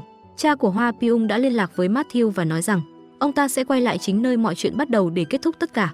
Hoa Piung nhớ ra điều gì đó. Anh gấp gáp gọi cho ông nội nhưng ông không nhấc máy. Mấy người vội vàng lái xe trở về nhà Hoa Piung ở quê. Bên này ông nội trở về nhà gặp ngay con trai đang đợi mình sẵn ở đó. Ông nội ôm con vào lòng xúc động. Cuối cùng con cũng chịu về rồi. Bây giờ ông thấy con trai có những biểu hiện lạ. Nhận ra đó là dấu hiệu của người bị ám, ông định lấy điện thoại ra gọi cho Hoa Pyong nhưng bị con trai phát hiện rồi rút dao ra đe dọa. Cha không cần gọi đâu, nó sẽ trở về và bọn con sẽ kết thúc tất cả. Điều này khiến ông nội vô cùng lo lắng. Trên đường trở về Hoa Pyong lại tiên tri thấy cảnh ông nội bị hại. Anh đã không về kịp, ông nội đã bị người cha đâm một cách tàn nhẫn. Ông dùng chút sức lực cuối cùng xin lỗi Hoa Pyong. Năm xưa chính ông nội là người xúi dục cha ám sát Hoa Pyong, vì ông không muốn thấy cảnh anh trở thành con quỷ như Park In Jo. Hoa Pyong vô cùng đau khổ. Ông nội cũng ngất đi. Jiu Yang tìm cách cấp cứu nhưng không có tác dụng. Sau đó họ bắt đầu tìm kiếm người cha. Hoa Pyung phát hiện ông ấy định bỏ chạy lên núi nên vội vàng đuổi theo. Đến một khúc của Hoa Pyung mất dấu người cha nên anh ngó nghiêng tìm kiếm xung quanh. Bất ngờ người cha khống chế Hoa Pyung từ phía sau. Anh thò tay vào trong túi lấy ra chiếc nhẫn. Khi trông thấy chiếc nhẫn cưới người cha lấy lại được ý thức, ông biết mình đã gây ra lỗi lầm cực kỳ nghiêm trọng nên đuổi Hoa Pyung trở về. Sau đó người cha tiếp tục chạy sâu vào rừng. Hoa Pyung tiếp tục đuổi theo. Anh nhìn thấy người cha sắp tự đăng xuất thì vội vàng tới ngăn cản. Con quỷ trong cơ thể người cha gào lên, mày và tất cả những người bên cạnh mày đều sẽ phải trả cái giá đắng. Sau đó ông ấy đã tự restart mạng sống của mình. Hoa Piung không cứu được cha gào lên trong tuyệt vọng. Bây giờ Hoa Piung đang vô cùng đau khổ. Cha ngỏm củ tỏi ông nội đang nằm viện. Cả hai đều không phải Park In Do. Hoa Piung không thấy còn bất kỳ động lực nào để sống. Hoa Piung nhớ lại lời của cha. Mày và tất cả những người bên cạnh mày đều sẽ phải trả giá. Hoa Pyong sợ liên lụy đến mọi người nên nói với họ sẽ ngừng truy tìm con quỷ Park In Jo. Nhưng Jiu Yang và linh mục Matthew đến giờ phút này lại không muốn từ bỏ. Sau bao nhiêu chuyện phải chứng kiến cả hai muốn bắt bằng được quỷ hồn Park In Jo, họ phải trừng phạt nó bởi những lỗi lầm nó gây ra. Lúc này linh mục già hẹn gặp Matthew. Ông nói rằng có khi nào Hoa Pyong chính là người mà con quỷ Park In Jo nhập. Matthew từng nghi ngờ Hoa Pyong. Tuy nhiên sau bao nhiêu biến cố anh có thể tin tưởng Hoa Pyong. Linh mục già lại nói 20 năm trước lúc xảy ra sự việc căn phòng đó chỉ có 5 người. Anh trai cậu cùng cha của Hoa Pyung đã ngỏm củ tỏi. Ông nội cậu ta đang nằm viện, chỉ còn lại tôi và cậu ta. Linh mục già khẳng định rằng mình không bị nhập, như vậy chỉ có thể là Hoa Pyung. Linh mục già đưa ra giả thuyết, có thể con quỷ nằm ở trong người Hoa Piung mà anh ấy không biết. Do lúc đó Hoa Piung còn quá nhỏ không thể cảm nhận nên bây giờ Hoa Piung mới phản ứng được với quỷ. Hơn nữa những con quỷ Matthew từng gặp cũng khẳng định ai ở bên cạnh Hoa Piung đều sẽ gặp tai họa. Matthew lại một lần nữa sinh ra hoài nghi. Linh mục Matthew quyết định điều tra rõ ràng chuyện này. Hôm sau anh đến tìm bà pháp sư 20 năm trước đã làm lễ trừ tà cho Hoa Piung. Không ngờ bà ấy còn nhớ rõ mọi chuyện xảy ra hôm đó. Pháp sư mù nói rằng con quỷ bên trong cơ thể Hoa Piung quá mạnh mẽ, bà không thể đuổi nó ra chỉ có thể tạm thời phong ấn năng lượng của nó. Thời gian phong ấn cũng sắp hết, con quỷ đó sẽ một lần nữa thoát ra hoàn toàn chiếm hữu cơ thể của Hoa Piung biến anh trở thành ác quỷ thực sự. Nghe xong chuyện này Matthew vô cùng bất ngờ kèm theo nhiều lo lắng. Phải làm gì mới có thể giúp đỡ Hoa Piung đây? Phía Hoa Piung bắt đầu có những biểu hiện lúc nhỏ, anh có thể trông thấy được những quỷ hồn. Mắt phải cũng trở nên đau nhức. Hoa Piung đem chuyện này hỏi ông pháp sư. Ông ta nói rằng có lẽ bùa chú phong ấn năng lực của Hoa Piung đang suy yếu, bây giờ tốt nhất anh nên ở nhà. Nhưng Hoa Piung vẫn quyết đi tìm con quỷ Park In Do. Hóa ra anh chưa bỏ cuộc mà chỉ sợ Jiu Yang cùng linh mục Matthew gặp nguy hiểm nên mới lừa họ rằng không truy tìm Park In Do nữa. Một bên khác Jiu Yang đang theo dõi nghị sĩ Park. Cô nghĩ bà ấy sẽ đến gặp con quỷ Park In Do nhưng không ngờ người xuất hiện lại là vị linh mục già. Hôm sau Jiu Yang gặp mặt linh mục Matthew. Anh nói ra suy đoán của mình cho cô biết. Có thể Park In Do đang ở trong người Hoa Piung mà cậu ta không biết. Vì năm người có mặt tại nhà của Hoa Piung lúc đó chỉ còn lại Hoa Piung và linh mục già.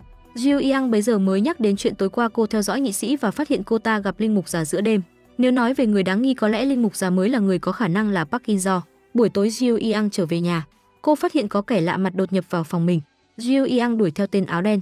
Cô bắt được người này và nhận ra anh ta là vệ sĩ của nghị sĩ Park. Sau đó cảnh sát Kang vẫn để hắn thoát khỏi tay. Bây giờ ông tiền bối cũng đến nhà tìm Jiu Yang, phát hiện cô đang đuổi theo tên áo đen, ông cũng đuổi theo hắn.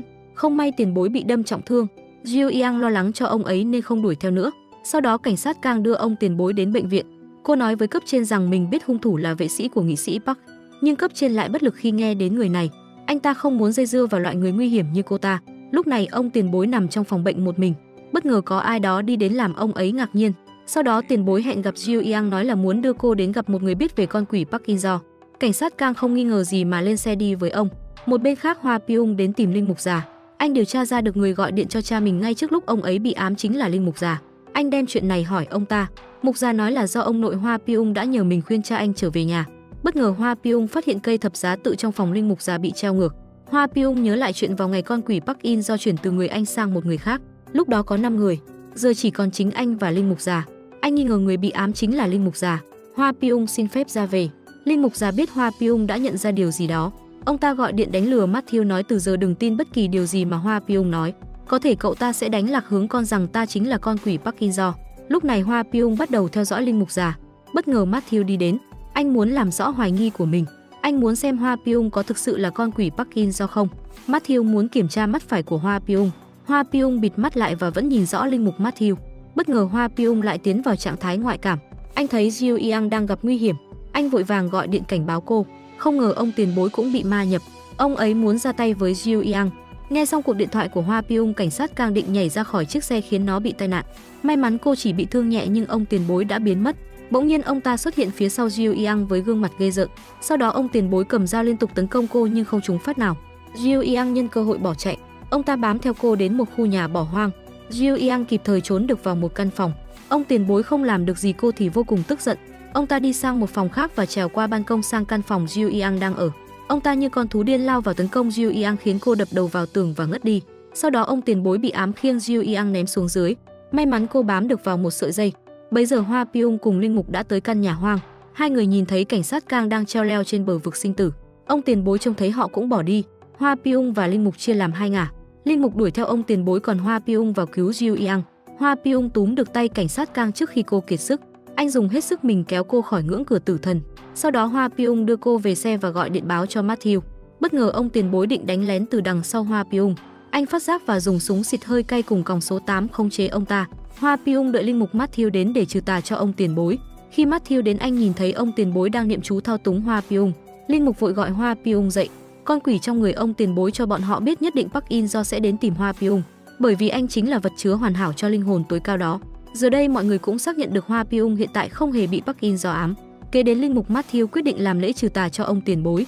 Tuy nhiên pháp lực của linh mục Matthew đã trở nên quá yếu ớt, nước thánh cũng không đủ để trừ tà, họ phải tìm ra cách mới. Matthew muốn Hoa Pyung giúp mình tìm nguồn nước để pha chế nước thánh. Hoa Pyung chạy quanh các phòng và tìm được nguồn nước. Anh báo lại cho linh mục. Matthew bắt đầu làm phép chế ra nước thánh, sau đó ba người cho ông tiền bối ngâm mình trong dòng nước linh thiêng. Linh mục bắt đầu niệm chú, Hoa piung giúp Jiu Yang giữ chặt ông tiền bối. Con quỷ bên trong người ông ấy bắt đầu đau đớn gào thét. Bắc In do hãy trả thù cho tôi. Sau đó ông tiền bối phun ra một ngụm nước biển. Cuối cùng nghi lễ trừ tà cũng thành công. Matthew vô cùng kiệt sức. Hôm sau Jiu Yang tỉnh lại trong bệnh viện. Cô biết ơn vì Hoa piung và Matthew đã đến cứu mình và đem ông tiền bối trở về. Cảnh sát Kang cũng hiểu lý do Hoa piung không muốn cô tiếp tục tìm Park In Do, bởi vì anh sợ cô sẽ gặp nguy hiểm như lần này. Nhưng điều đó càng làm Jiu Yang quyết tâm giúp Hoa Pyung bắt con quỷ hơn. Sau lần làm phép vừa rồi linh mục Matthew suy yếu rõ rệt, cơ thể anh bắt đầu xuất hiện hắc khí độc hại. Nếu như còn tiếp tục làm phép có thể Matthew sẽ không chịu nổi nữa. Lúc này linh mục trẻ vẫn còn nghi ngờ Hoa Pyung. Anh đến thăm dò ở chỗ ông pháp sư. Ông ấy cho Matthew biết quả thật gần đây Hoa Pyung hay bị đau mắt. Lúc bấy giờ ông pháp sư mới nhận ra, không lẽ cậu nghi ngờ Hoa Pyung chính là Park In Do? Linh mục không phủ nhận, bởi vì có một con quỷ cho anh biết quỷ hồn Park In Do vẫn còn đang ở trong nhà Hoa Pyung. Ông pháp sư nghi ngờ có kẻ nào đó đặt bùa chú trong nhà Hoa Piung khiến anh xuất hiện dấu hiệu giống quỷ hồn Park In Do. Ông pháp sư quyết định về quê Hoa Piung một chuyến để điều tra. Sau khi rời nhà, ông pháp sư linh mục Matthew quyết đến chỗ Hoa Piung để kiểm tra một lần nữa xem anh có bị quỷ hồn Park In Do ám không. Matthew phát hiện Hoa Piung lại bị đau mắt và nhìn nhầm mình thành người cha đã ngỏm củ tỏi khiến anh càng thêm nghi ngờ. Hoa Piung cũng muốn rõ ràng với Matthew. Anh để linh mục làm phép lên người mình để chắc chắn mình không bị quỷ hồn Park In do nhập. Sau khi làm phép, Hoa Piung vẫn bình thường nên Matthew mới hoàn toàn tin tưởng anh. Nhưng vậy thì người có khả năng bị quỷ hồn ám còn duy nhất linh mục già. Matthew không thể tin điều đó là sự thật, bởi vì lúc nhỏ ông ấy yêu thương và chăm sóc anh như con ruột, anh cũng coi ông là cha. Matthew làm sao có thể chấp nhận một con người đối xử tốt với mình như vậy lại là ác quỷ rớt người không gây tay. Một bên khác pháp sư về tới nhà ở quê của Hoa Pyong. Ông dùng pháp thuật xem quỷ hồn Park In do giấu bùa chú ở đâu. Pháp sư phát hiện có thứ gì đó được chôn dưới đất vội vàng đào nó lên. Bất ngờ ông bị một hồn ma tấn công. Pháp sư bị thương nặng.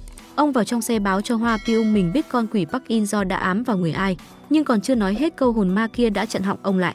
Sau đó linh hồn tà ác kéo ông pháp sư ra tận cánh đồng rồi sát hại và giấu xác của pháp sư đi. Người điều khiển quỷ hồn không ai khác chính là linh mục già mà Matthew vẫn luôn tin tưởng. Lúc này Matthew trở về phòng của linh mục già ở công hội. Ông ta không có ở đây. Matthew tìm được cuốn kinh thánh của linh mục già, không ngờ bên trong đã bị bôi đen hết. Cuối cùng anh cũng chấp nhận sự thật. Quỷ hồn Park In do đang ở trong người vị linh mục già mà Matthew tin tưởng nhất. Hôm sau linh mục Matthew đến thánh đường nghe linh mục già đọc kinh thánh. Ông ta đọc sai hết mọi thứ, nó lại như một bài chú làm các tín đồ mơ hồ. Matthew tiến đến vạch trần linh mục già, sau đó anh bị công hội bắt lại. Các linh mục hỏi lý do Matthew phá rối nghi lễ. Anh đem cuốn kinh thánh lấy được trong phòng linh mục già khiến ai nấy đều bất ngờ. Sao có thể tô bậy lên kinh thánh như vậy? Linh mục già vẫn chưa chẽn phủ nhận. Ông ta nói rằng Matthew đang muốn đổ oan cho ông ta. Ông ta nói anh bị tâm thần giống như người anh trai đã ngỏm củ tỏi. Một ngày nào đó sẽ bị tà ác xâm chiếm cơ thể và trở thành kẻ sát nhân. Matthew vô cùng tức giận nói, ông ta mới là quỷ dữ nhưng chẳng ai chịu tin anh. Cũng bởi lý do này Matthew bị giáo sứ nhốt lại. Một bên khác, Hoa Pyong trở về quê tìm ông bạn pháp sư nhưng không hề có được manh mối nào. Buổi tối trên đường đi, Hoa Pyong gặp được oan hồn của ông bạn. Anh biết pháp sư chắc chắn đã xảy ra chuyện chẳng lành. Anh biết chắc chắn là do linh mục già gây ra. Hôm sau Jiu Yang tới một buổi họp báo của nghị sĩ Park. Cô hỏi về thông tin của linh mục già nhưng cô ta lại giả vờ không biết. Bất ngờ có người đến cuộc họp báo làm loạn. Người đó nói nghị sĩ là một kẻ cặn bã. Jiu Yang gặp người phụ nữ đó để hỏi lý do. Bà ta cho Jiu Yang biết những việc làm phạm pháp mà nữ nghị sĩ cùng linh mục già cùng nhau giàn dựng, trốn thuế tham nhũng và cả vụ án của mẹ của Jiu Yang 20 năm trước. Người phụ nữ nói nghị sĩ là một con ác quỷ. Trong cô ta lúc bình thường vui vẻ hòa nhã nhưng khi nóng giận sẽ biến thành một bà điên. Jiu Yang muốn người phụ nữ đứng ra làm nhân chứng vạch trần nữ nghị sĩ và linh mục già. Bà ta ngay lập tức đồng ý. Buổi tối nghị sĩ Park đến nhà người phụ nữ đưa cho bà ấy một số tiền. Cô ta nói rằng nếu như bà ấy tiếp tục giữ im lặng nghị sĩ sẽ cho một số tiền lớn hơn. Người phụ nữ không đồng ý còn đuổi nghị sĩ Park về khiến cô ta nổi giận. Nếu cô không muốn im lặng thì tôi giúp cô im lặng. Nghị sĩ Park cho người phụ nữ đắp mộ luôn. Sau đó cô ta sợ hãi tìm cách giải quyết. Lúc này linh mục già đang ở bệnh viện chỗ mà ông nội Hoa Pyung đang nằm. Ông ta muốn ám sát ông nội của Hoa Pyung. Khi nhận được cuộc gọi, linh mục già vội chạy đến căn nhà của người phụ nữ. Ông ta tức giận táng cho nghị sĩ một cái thật mạnh. Đây là giai đoạn nhạy cảm. Rất nhiều mũi nhọn điều tra đều đang hướng về bọn họ mà nghị sĩ lại làm như vậy. Linh mục già đuổi cô ta về trước còn mình thì ở lại xử lý hiện trường. Ông ta đem cái xác lên núi đào mồ chôn. Jiu Yang liên lạc lại với người phụ nữ để trao đổi về việc đứng ra làm chứng chống lại nữ nghị sĩ. Cô gọi nhiều lần nhưng không ai nghe máy. Biết có chuyện chẳng lành, Jiu Yang vội vàng đến nhà bà ấy. Họ không phát hiện điều gì khả nghi.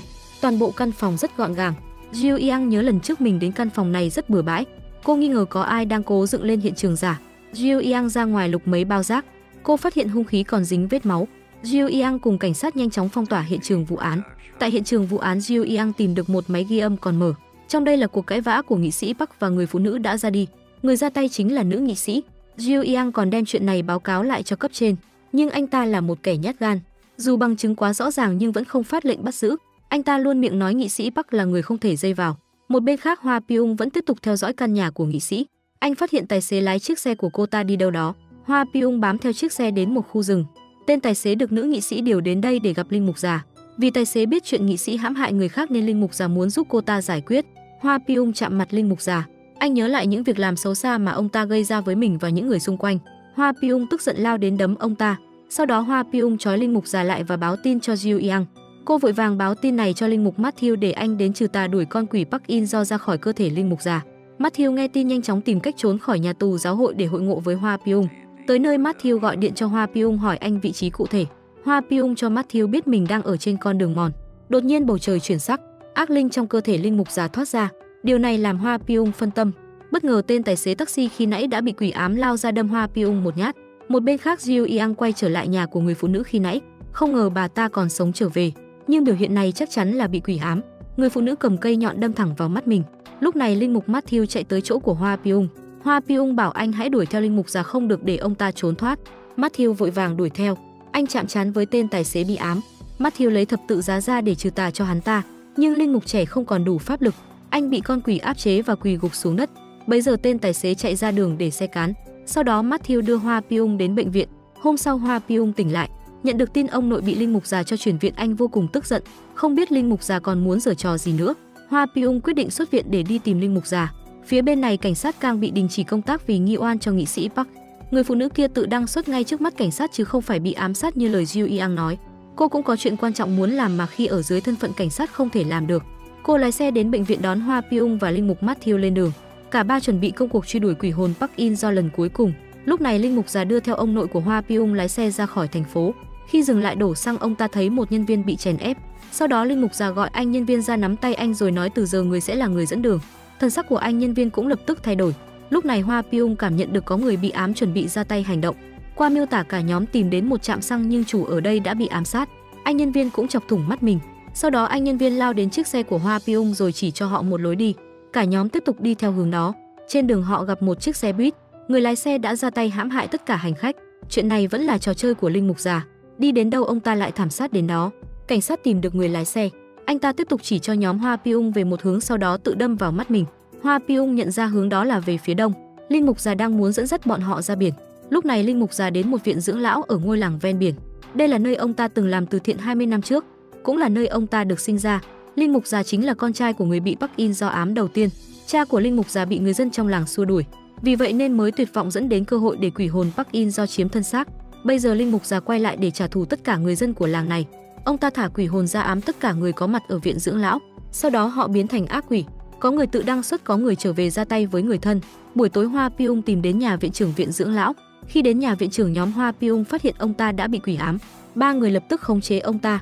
Hoa piung muốn linh mục Matthew làm phép, nhưng lần này anh ấy không còn đủ khả năng. Matthew gần như mất hết pháp lực. Anh bị con quỷ áp chế hoảng sợ chạy ra ngoài. Matthew quỳ xuống cầu xin Chúa ban thêm một chút sức mạnh để có thể diệt trừ nốt những con quỷ lần này. Nhưng cơ thể của linh mục trẻ đã cạn kiệt sức sống. Trông thấy cảnh này, Hoa piung biết rằng nếu còn tiếp tục làm phép, Matthew sẽ phải chết nhưng linh mục vẫn nói mình có thể tiếp tục. Bên trong căn nhà Jiu Yang đã khống chế được viện trưởng bị ám, người nhà cũng đã gọi cảnh sát. Cảnh sát cũng tới gõ cửa ngôi nhà nhưng Jiu Yang thấy có gì đó không đúng. Cô bảo người nhà hãy từ từ mở cửa. Tên cảnh sát chờ đợi quá lâu gõ cửa càng mạnh hơn. Sau đó anh ta phá cửa sổ chui vào căn nhà. Jiu Yang nhận ra tên cảnh sát cũng bị ám. Hắn ta lao tới tấn công cô. Jiu Yang không phải đối thủ của hắn ta. May mắn Hoa Pyong cùng linh mục về kịp. Họ nhanh chóng khống chế con quỷ. Matthew định tiếp tục làm phép nhưng anh lại bị phản phệ hất văng ra. Linh mục trẻ không còn chút pháp thuật nào. Nhóm Hoa Piung biết cả ngôi làng này đều bị ám. Nếu không nhanh giải quyết tất cả người dân đều phải chết. Nếu muốn tiêu diệt những quỷ hồn đang ám mọi người, nhóm Hoa Piung phải giải quyết con quỷ tối thượng Park In do đang đứng sau điều khiển đám quỷ hồn. Cả nhóm quyết định đến viện dưỡng lão tìm linh mục già. Tới nơi họ chia nhau ra tìm ông ta. Vết thương cũ của Hoa Piung lại tái phát. Jiu Yang khuyên anh hãy ngồi đợi bọn họ đi tìm linh mục già. Nếu không anh sẽ ngỏm củ tỏi trước khi tìm thấy ông ta. Bây giờ Hoa Pyong nói với Jiu Yang, anh phải là người đứng ra kết thúc tất cả chuyện này, bởi vì linh mục Matthew đã quá yếu, nếu còn làm lễ trừ tà anh ấy sẽ ra đi mãi mãi. Hoa Pyong cũng đã có cách tiêu diệt quỷ hồn Park In do trong cơ thể linh mục già. Phía bên này Matthew đã tìm được linh mục già, anh muốn giúp ông ta tiêu diệt quỷ hồn Park In do, nhưng trước sự áp chế mạnh mẽ của quỷ hồn Matthew thậm chí còn không nhúc nhích nổi. Linh mục già nói với Matthew, ông ta sẽ kết thúc tất cả để chuẩn bị cho khởi đầu mới. Lúc này toàn bộ những người bị ám đang bắt đầu tàn sát lẫn nhau. Cả ngôi làng này sẽ sớm bị diệt vong. Matthew dù đang chịu áp chế đau đớn từ quỷ hồn nhưng vẫn cầm cây thánh giá tiến về phía trước. Chúa sẽ không lùi bước giúp anh tiêu diệt quỷ hồn Parkinson. Hoa Pyong trông thấy cảnh này vội vàng ngăn Matthew lại. Anh không muốn linh mục trẻ ra đi mãi mãi. Bây giờ Hoa Pyong nói ra ý định ban đầu của quỷ hồn Parkinson. Thân xác hoàn hảo mà con quỷ muốn chiếm giữ chính là Hoa Pyong. Hoa Pyong nguyện giao ra thân xác này. Anh muốn Park In do nhập vào cơ thể mình sau đó tự dừng cuộc chơi. Đó là cách giúp họ tiêu diệt hoàn toàn Park In do. Nhưng bất ngờ linh mục già thay đổi ý định. Ông ta muốn kết thúc mọi chuyện. Sau đó linh mục già nhảy từ trên cao xuống. Cả nhóm không hiểu chuyện gì đang xảy ra. Tại sao đến lúc này con quỷ Park In do lại quyết định dừng lại? Sau khi linh mục già ngỏm củ tỏi người dân trong làng cũng trở lại bình thường. Hoa piung cũng tìm được ông nội. Hôm sau cả ba bàn về sự ra đi của linh mục già. Mọi chuyện đang đi đúng kế hoạch của ông ta. Tại sao ông ta lại tự đăng xuất? Matthew nhớ đến câu nói kết thúc tất cả để chuẩn bị cho một khởi đầu mới. Có thể là quỷ hồn Park In do còn quay trở lại. 60 năm trước hắn xuất hiện lần đầu, 20 năm sau xuất hiện lần thứ hai, hiện tại là lần thứ ba. Vậy lần tiếp theo hắn sẽ trở lại là bao giờ? Không ai có thể biết cả. Vài ngày sau linh mục Matthew đến nhà những người từng bị ám để kiểm tra cho họ. Một lần nữa anh phát hiện những người này còn phản ứng với thập giá tự. Không ngờ đám quỷ hồn vẫn còn tồn tại. Linh mục trẻ báo tin này cho Jiu Yang. Cô vô cùng kinh ngạc về điều này. Cảnh sát Kang giật mình phát hiện ai đó bỏ đầu quạ trong chiếc lọ ở nhà cô. Cả hai nhớ ngay đến Hoa Pyung. Có thể anh ấy cũng đang gặp nguy hiểm. Một bên khác Hoa Pyung tích cực tìm kiếm thi thể của ông bạn pháp sư. Anh nhớ lại lý do vì sao pháp sư biến mất. Hôm đó pháp sư đến nhà Hoa Piung và tìm thấy thứ gì đó. Ông còn nói với Hoa Piung mình biết ai là Park In Do. Hoa Piung quay về nhà tìm kiếm. Anh phát hiện dấu vết đào bới trong vườn. Hoa Piung đào lên xem thử. Đây là một bùa hình nhân làm từ xác người. Cái xác này chính là người đầu tiên bị Park In Do ám. Không ngờ Park In Do thật sự là ông nội. Hoa Piung đem chuyện này đến hỏi ông. Lúc này người đứng trước mặt anh không phải ông nội mà chính là quỷ hồn Park In Do. Hoa Piung hoàn toàn khôi phục được năng lực ngoại cảm lúc nhỏ của mình. Bây giờ anh có thể nhìn thấy ma quỷ. Ngay từ nhỏ Hoa Pyung đã nhận ra con quỷ Park In Do đang đóng giả ông nội, nhưng vì sợ nó làm hại gia đình nên không dám nói. Sau khi làm lễ trừ tà Hoa Pyung cũng mất đi trí nhớ và năng lực đặc biệt của mình. Vì Hoa Pyung có một thân xác hoàn hảo nhưng năng lực phong ấn lại cực mạnh, nên Park In do phải ở cạnh Hoa Pyung và dần dần phá bỏ tầng phong ấn đó. Như vậy mới có thể chiếm hữu thân xác của Hoa Pyung. Mỗi lần Hoa Pyung gặp đau khổ tầng phong ấn đó lại giãn nứt một ít. Đó là lý do từng người từng người bên cạnh Hoa Pyung phải đi chầu Diêm Vương. Park In do cũng chỉ lợi dụng linh mục già và nữ nghị sĩ cho mục đích này của mình mà thôi. Hắn ta gần như thao túng được tất cả mọi người. Con người đều có mặt tối, ta chỉ lợi dụng mặt tối đó của họ để biến họ trở thành con rối trong trò chơi. Hoa Pyung tiến lại gần phía Park In do nhưng lại bị áp chế đến hộc cả máu. Anh nói với hắn nếu như ngươi đã thèm muốn thân xác này như vậy thì hãy đến và chiếm lấy nó. Hoa Pyung muốn cùng Park In do đồng quy vô tận. Sau khi quỷ hồn Park In do nhập vào cơ thể Hoa Pyung, nó bắt đầu khắc văn tự phong ấn do người bạn pháp sư dạy lên cơ thể. Đúng lúc này Matthew cũng đến nhà Hoa Pyung. Anh muốn giúp Hoa Pyung trừ tà, nhưng Hoa Pyung vẫn còn chút ý thức không muốn linh mục trẻ vì mình mà chết. Hoa Pyung chấn áp Matthew rồi chạy ra biển. Jiu Yang nhìn thấy nên đi theo. Thấy Hoa Pyung muốn xuống biển quyền sinh Jiu Yang bơi ra kéo anh vào bờ. Matthew cũng chạy đến làm phép, nhưng lúc này con quỷ Park In do đã hoàn toàn chiếm được thân xác của Hoa Pyung. Anh dìm cả hai xuống nước. Jiu Yang khóc lóc cầu xin anh cố gắng khống chế bản thân. Hoa Pyung tạm thời làm chủ được thân xác. Anh dùng dao đâm vào con mắt rồi nhảy xuống biển. Matthew bơi theo nhưng vì quá kiệt sức nên ngất đi. Hoa Pyong buông linh mục trẻ rồi từ từ chìm xuống đáy biển.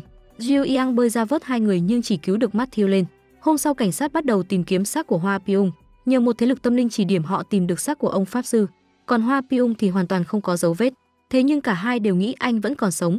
Một năm sau Jiu Yang cùng linh mục Matthew đến nhà Hoa Pyong để hỏi thăm ông nội anh. Họ phát hiện có ai đó gửi rất nhiều đồ dùng đến đây. Qua điều tra cả hai tìm đến được nhà người gửi. Hoa Piung thật sự còn sống.